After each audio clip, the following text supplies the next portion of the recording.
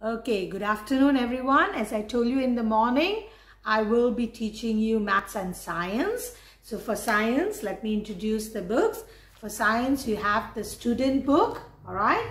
You have the uh, uh, Explore Science student book and you have the workbook.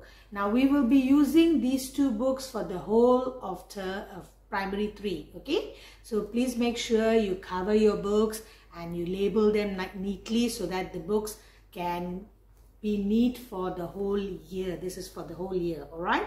And for the exercise books, we will be using one exercise book this term. So please label it, write your names, write the class, write the subject and cover your books so that they will last for the whole term, all right? So as we go along, I will let you know which book to use and uh, what work to do all right? So let's start today's work all right